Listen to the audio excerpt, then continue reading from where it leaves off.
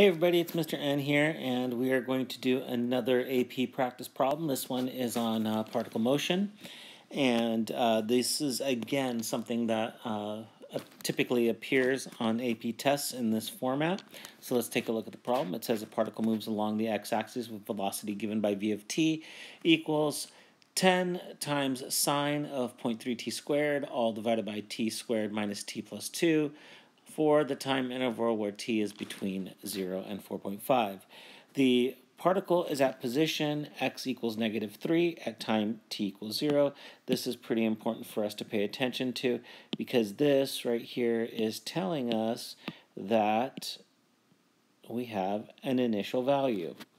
Okay, so let's move on and take a look at what uh, what else we got going on here. Uh, for part A, it says find the acceleration of the particle at time t equals 4. Okay, so at time t equals 4, we want the acceleration. We're given a velocity. The derivative of the velocity is the acceleration. So what we want to do is we want to put this into our calculators. And the best way to do this, and I've shown you this before, is um, unfortunately I can't, in this app, I can't bring up the calculator, uh, the visual of it. But what you want to do um, if I get a chance, maybe I can edit that in, but we'll see. Um, what you want to do is you want to go to y1, and then you want to put this equation in. And be careful when you put the equation in. Um, I would suggest maybe putting the top in parentheses, so open parentheses 10 sine, open parentheses 0.3 t squared, and then divided by, open the parentheses, t squared minus t plus 2 like that. This will be your y1, and you're going to refer to this every time by using the feature. You're going to hit vars on your calculator, and then you're going to hit y vars, and then you're going to choose the one that'll be y1. And that saves you a lot of time from having to go through and put the equation in every time you want to do something. So we're going to put that equation in y1 right now. So you can go ahead and pause the video and do that. And then we're going to come back to the problem, and here's what we're going to do. We're going to use the derivative feature on our calculator, and we're using all of this because it says calculators required. So I want to try to maximize the use of my calculator. So I put y1 in, and now I'm going to use the feature that's n derivative. So n derivative, and you can get to that by hitting the math and then scrolling down.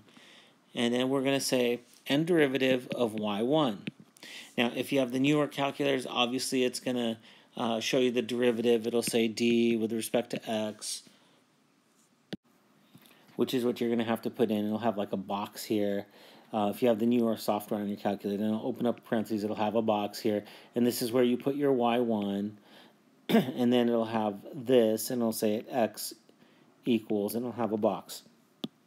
So these are the points where you want to put the y1 in here, and then at time t equals 4 right there.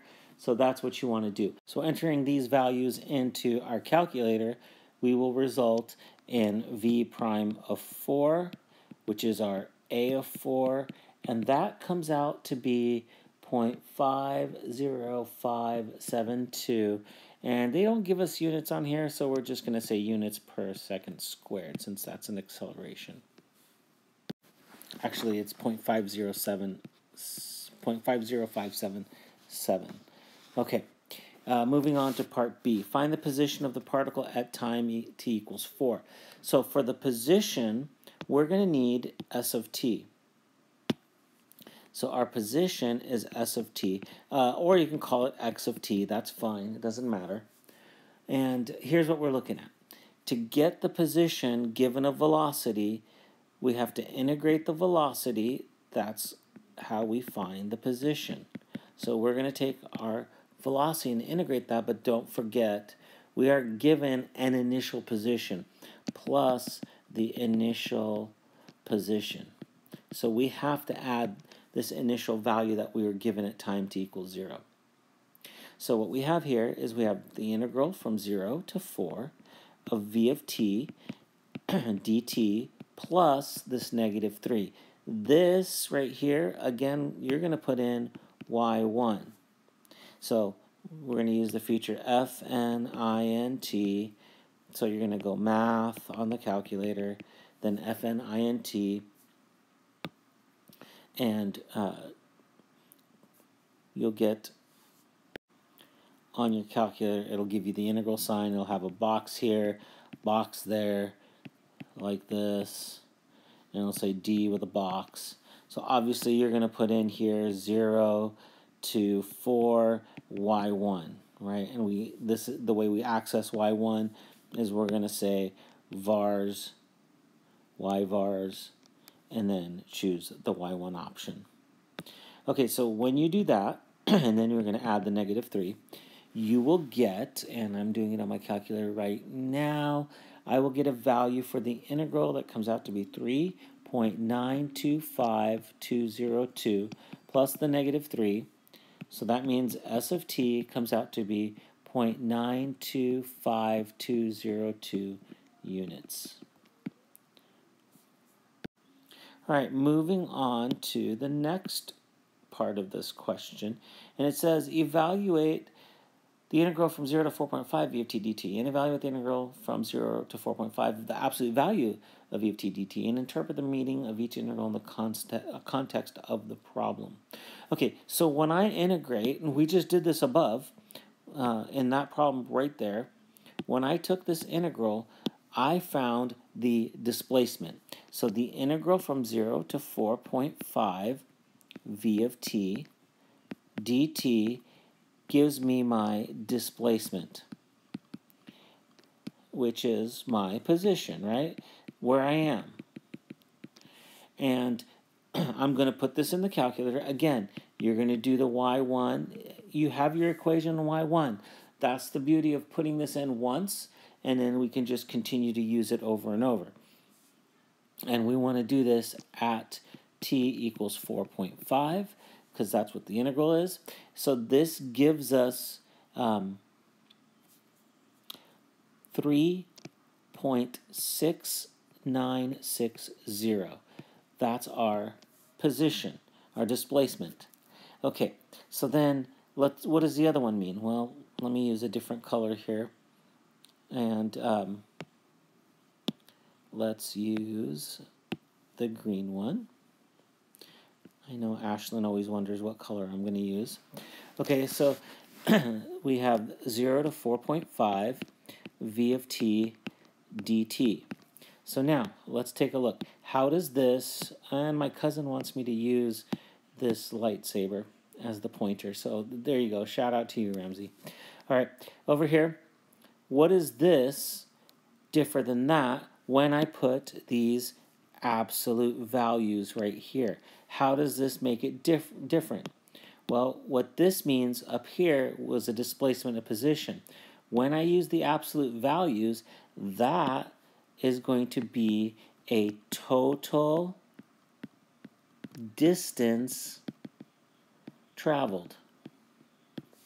So you can think of it as if I take three steps forward and one step back, where am I? I'm at, if I started at zero, took three steps forward, one step back, I'm at a position of two. How far have I traveled? Well, I traveled forward three and I traveled backwards one. I've traveled total four steps. So that's the difference when we do the absolute value. It tells us how far did we really go, the total distance traveled. And on your calculator, you can put this in directly. So we're going to use the absolute feature on our calculator. So what we can do is we're going to, again, do fnint, right? And then we'll do the integral from 0 to 4.5. And then you can get these by hitting math and then the ABS button, and it'll give you the absolute values. And we'll put in V of t. In this case, it'll be our y1. This is where we're putting in that y1, so I don't have to write it all over again. And with respect to x, right, dt, and this gives me at 4.5 seconds a total distance traveled of 4.96109. And these are units, it didn't indicate in the problem. Now, another way to do it is you could find out where the velocity graph, since you have a v of t, where it crosses the axis and break it up and take the absolute value of the second part. So it crosses the axes. If you graph these, you'll see that it crosses at uh, 3.23604. And then you could do your v of t dt. And then plus, and this is where you take the absolute value. You can take the absolute value of the whole thing, 3.23604 to 4.5 of v of t dt. Because this answer this answer will end up being a negative. So then what you're going to do, the absolute value will bring you back to a positive. All right, so let's move on. For part D, it says a second particle moves along the x-axis with position given by x2 Uh, of t equals t squared minus t for that time. At what two times are the particles moving at the same velocity? We want the same velocity. Well, how do I get the same velocity? Well, that means I need to take the derivative of this. This second position derivative gives me the velocity of the second one. So, and I want to set this equal, so I need this derivative to be the velocity of that first of the first equation. And we know this first equation because we put it in as y1. The derivative here is just 2t minus 1, right? 2t minus 1, that's a derivative. We want to know when these two are equal. Well, the easiest way to do this is to solve graphically. So I'm going to uh, graph each one, and when you graph each one on your calculators, you'll get your uh, v of t function, and this is, you just graph the y1, and you'll get that function that looks kind of like this. It goes up, it comes back down, then goes up a little bit again. And then the second one, you'll get something that goes like this. I think uh, I missed it. It's more like this. It crosses somewhere like right around here, I believe. Okay, and you're just going to use the uh, intersection feature on your calculator, second calculate intersection. And when you get that, you will get a value of t equaling 1.69415 seconds.